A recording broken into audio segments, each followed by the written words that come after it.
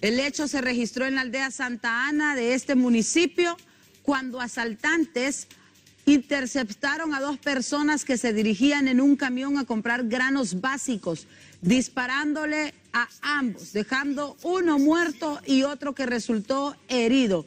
El ahora fallecido fue reconocido como Marlin Joel González. Luego de asesinar a estas personas, los, los delincuentes se dieron a la fuga con rumbo desconocido. Repito, este hecho se registró en la aldea Santa Ana de Meambar, Comayagua. Una persona muerta y otra herida. Deja asalto en esta localidad, en la zona central de nuestro país. Siguen los asaltos, por favor, hay que tener mucha precaución. 6 de la mañana con 11 minutos y de inmediato le mostramos dónde estamos ubicados con señales en directo en diferentes sectores del territorio nacional con nuestro compañero Alex Cáceres desde el sector de Villanueva, desde la